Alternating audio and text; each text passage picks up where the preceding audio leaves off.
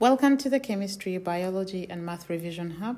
Today we are doing the Pearson Edexcel International A Level Chemistry Unit 1 for June 2022. I will do this paper in three videos, and this is the part 1. I will put the links to the other parts in the description box below this video. So let's begin. Question 1 says elements in their most stable state exist as so here we can see elements will exist as uh, isolated atoms, that is possible, example like sodium. Elements can exist as atoms in molecules, you can see that. And elements can exist as giant structures like, you know, carbon exists as graphite or as diamond. So the answer here should be a D. I know here they said atoms in giant structures only, that is wrong.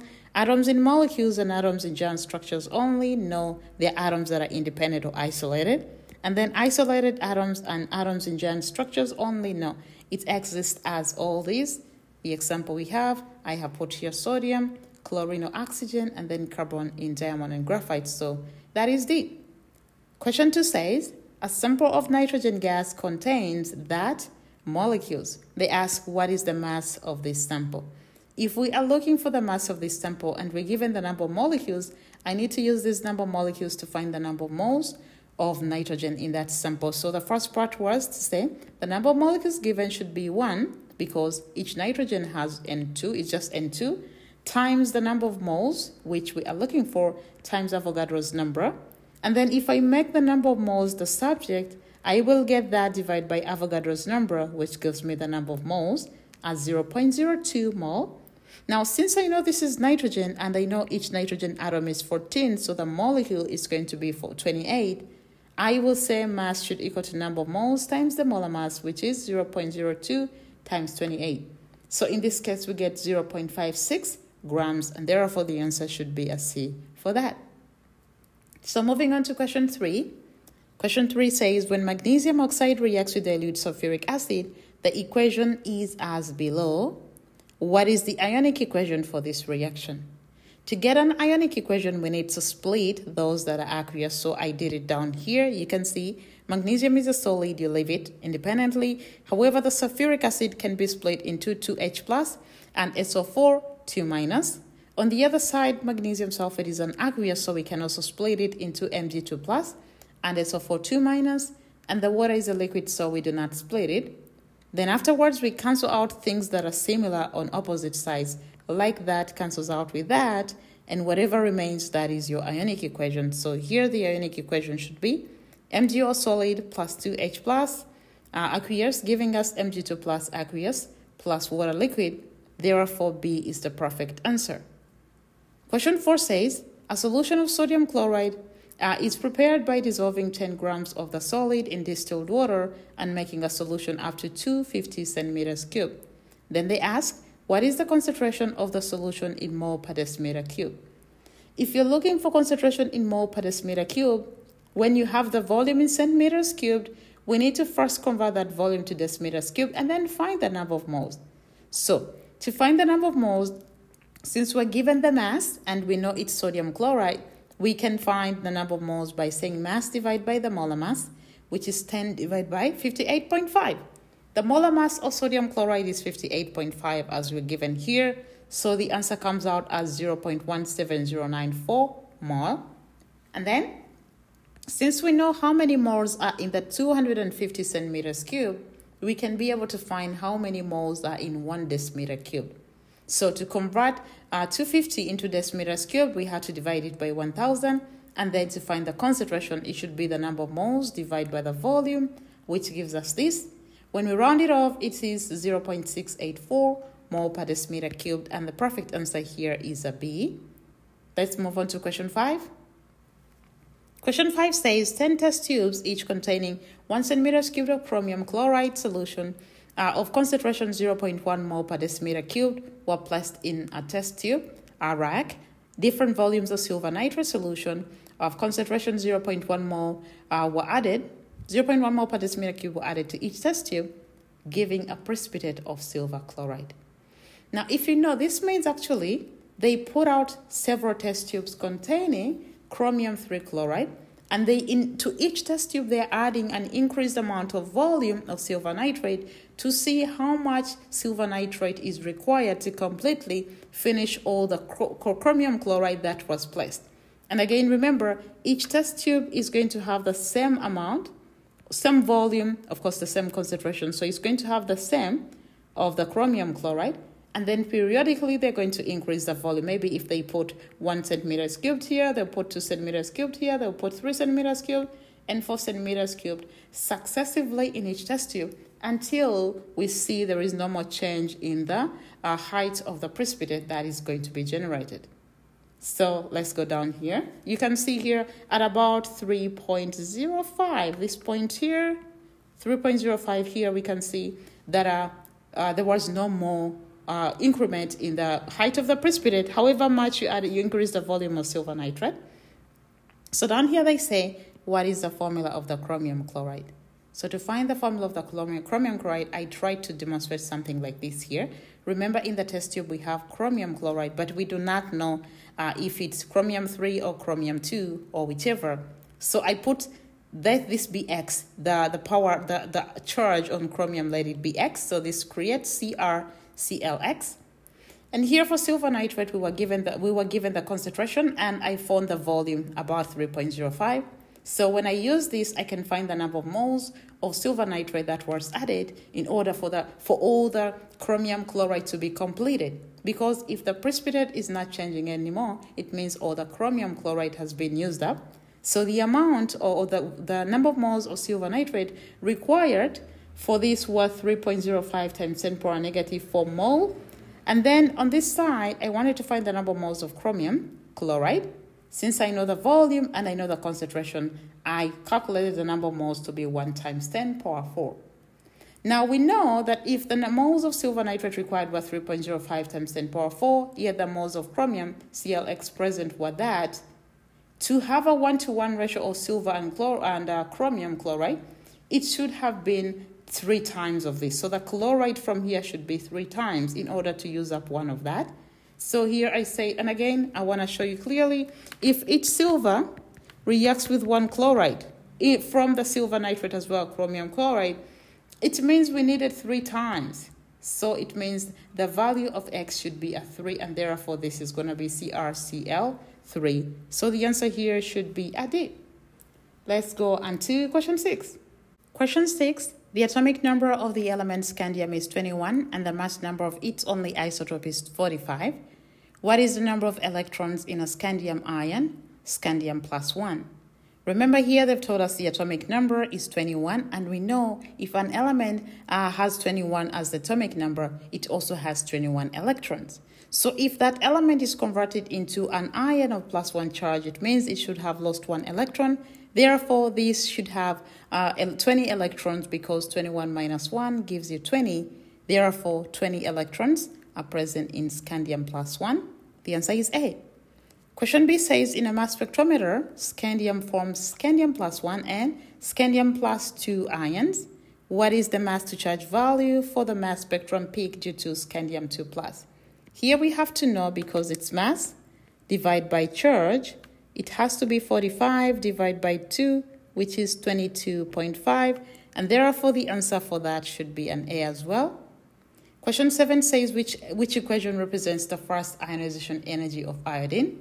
First ionization energy is when one mole of gaseous atom is converted into one mole of gaseous ion.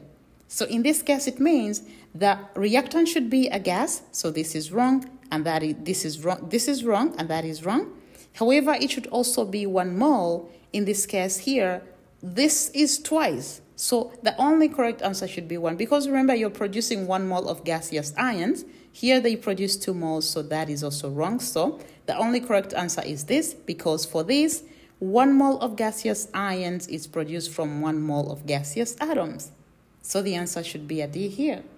For question A, they say, what is the electronic configuration of nitrogen atom? And again, remember nitrogen atom has seven electrons. However, when you do the electronic configuration, even if we have seven here and 7 there, electrons have to be arranged in a way that allows the pairing. However, they have to be, they cannot be facing the same side within the same orbital. So this is wrong, that is wrong. And uh, let me see here, this one here is also not right because this one facing down.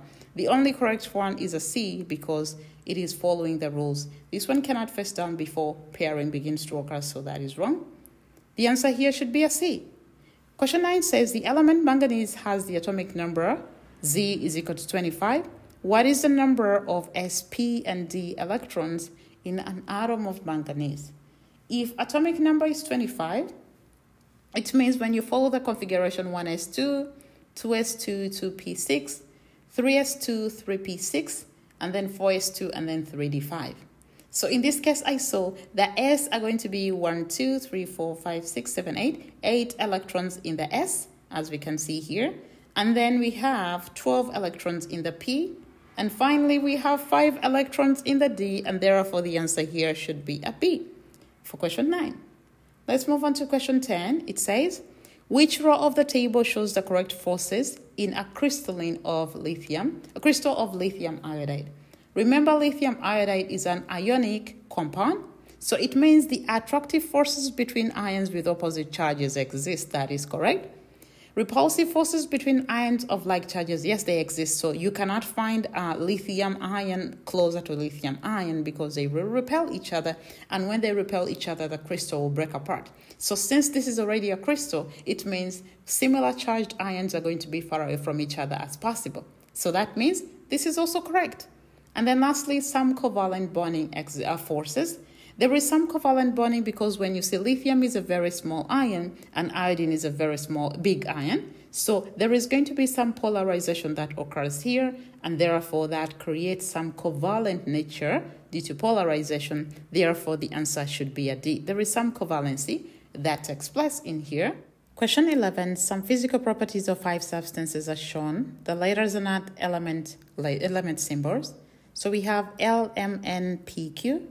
So they ask which of these substances could be metals. One thing we know about metals is that they do conduct electricity, whether in solid state or in liquid state. So if you're looking for metal, this one is not a metal, that is not a metal, and that is not a metal because metals do conduct electricity in solid state and they do in liquid state. Now, some metals can be soluble while others will be insoluble in water, so these two still fit the rule. And then some metals can have lower melting points while others can have a higher melting point. The example is mercury, mercury as a metal which is liquid at room temperature. I'm not saying this is the melting point, but at room temperature, mercury is a liquid, so it tells you some metals can have lower enough melting points, which brings us to the answer as a C because it's only that and that that are suitable to be metals the next part says which substance has properties showing that it changes from a molecular structure to ions when it dissolves in water. Now, if something uh, dissolves in water, it means it's a simple molecule, and therefore we know it cannot be, uh, so it should not conduct electricity, it should not be a solid, it, it should not be a solid. So uh, if it's a solid, it's possible that it can be a solid, maybe like an example, it's frozen or something like that, but it should not be able to conduct electricity in solid state. So here we can see poor conductor, that and that and that can fit in solid state. And then when we go to liquid state, they should not be able to conduct electricity as well, so that and that. And then finally, we have here when it's in dissolved in water, this one should be able to dissolve in water. So the only thing that fits all the three is going to be a Q, as you can see here, and the answer is going to be a D. And again, to emphasize, they said which substance has properties showing that it changes from molecular structure to ions when it dissolves in water. It that is when it does it from molecular structure when it dissolves in water. So there is going to be poor conductivity when it's a liquid as well, and the good conductivity will be seen when it's dissolved in water. So we can see that. So because it only dissolves in water to form the ions, the ions are only formed when it's dissolved in water. So yeah, that should be D. Next says, at 180 degrees Celsius, aluminium chloride exists as aluminium chloride, uh, exists as that. This is a dimerized version. They ask, what is the structure of this? Now we know this is wrong, and you know this is wrong, so the, the, the struggle is between these two. Now, one thing we can see is for here, we can see the lone pair is coming from chlorine to aluminium, which makes sense. For this one, it's coming from aluminium to chlorine, which doesn't make sense because aluminium doesn't have any lone pair. So this is out, and therefore the only answer we can see is a C, which is the answer to question 12. Moving on to question 13, it says, when carrying out chemical experiments, the hazards and risks must be considered for a given chemical. So they ask for a given chemical, the hazard is fixed, but the risk varies. This is correct. Any chemical, let me take an example. Sulfuric acid is always going to be, uh, is always going to be, of course, dangerous to the skin. It can burn you. It's going to have that hazard no matter what. Let's take another example. Fuel is always going to be flammable. Whether you bring it closer to fire or not, it has that potential to cause harm and that is what we call the hazard. However, the risk is when the harm actually happens. So if I get a fuel and I bring it closer to the fire, I'm increasing the risk. However, if I keep it away from the fire, the risk is being minimized. So there is a possibility to vary the risk, but the hazard will always be there. It's always going to be flammable no matter what you do. So the answer for this should be an A. Question 14 says heterolytic fission produces Easy. Heterolytic fission, it means things are breaking separately or they are not sharing electrons. Let's take an example of this. When this breaks heterolytically, uh, the most electronegative one takes both electrons and the product is going to be ions. Uh, uh, in this case, uh, H plus as well as Cl minus. One is going to be positively charged and the other is going to be negatively charged. So ions only are going to be produced, and here we can see the answer is going to be a B. So moving on to the next question, question 15. So here they say, a hydrocarbon X has a molar mass of 98 gram per mole. When a sample of X is shaken with bromine water, the color of the bromine water does not change. So because it does not change, it means the hydrocarbon does not have a carbon-carbon double bond. Therefore, this is out. So they're going to say which of these could be the structure. Now here you had to find out the molar mass and I calculated and I realized it's only this one that had the potential molar mass we're looking for, which is a 98 gram per mole. And therefore the answer for this should be a D. The others will not have the same molar mass. And again, you have to remember this one, 98 gram per mole is only going to be for a cycle, something that has a cyclostructure.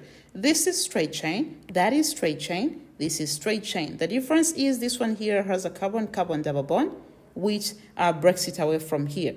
And again, remember, cyclocompounds as well as alkenes, if they have the same number of carbons, they can have the same uh, general formula. So it means this would be confused with that, but this one here tells them apart. So the answer should be here for D. Moving on to question 16, it says, which of these atmospheric pollutants is not emitted during the combustion of alkane car fuels? When alkane fuels are burnt, we can produce oxides of nitrogen, we can produce oxides of sulfur, and of course, alkanes can be produced. So the only thing that is not produced is ammonia, and therefore this is easy to tell. The answer is an A. For question 17, they say, which of these occurs in a propagation step of a reaction of methane and chlorine? In propagation, it means one free radical reacts with an unfree radical to produce another free radical. So let's see. This one here is not propagation because two free radicals are reacting. This is termination. And this one here, it cannot occur this way because then this is reacting with that. That is wrong. Uh, let me see. For this one, this kind of reaction cannot occur. The only possible answer is here. So the answer for question 17 is going to be a B. In this case, this radical is going to react with chlorine to form chloromethane, and this is going to be converted into another free radical. So let's continue to question 18. Question 18 says, what is the IUPAC name of the compound with the structure we see here? Now, when you look at this, you can see this is an alkene, easy. And we can see that it has one, two, three, four carbons, so it should be a butene. Also, we can see that the carbon-carbon double bond is on carbon 2, so it's a butene. And then we can see there is a chloro on carbon 2, so it's 2 chlorobutene. And then we have to determine is it an E or a Z isomer? Since on this carbon, the higher priority group is on this side, and on this carbon, the higher priority group is on the other side, this is going to be an E isomer, and therefore the answer is E dash 2 dash chlorobutene, which is a C here. So this brings us to the end of this video, which is the end of section A of this paper. Uh, thank you for being with us, and please do not forget to subscribe to our channel. I will put the links to the other videos in the description box below. Uh, so see you next time. Bye-bye.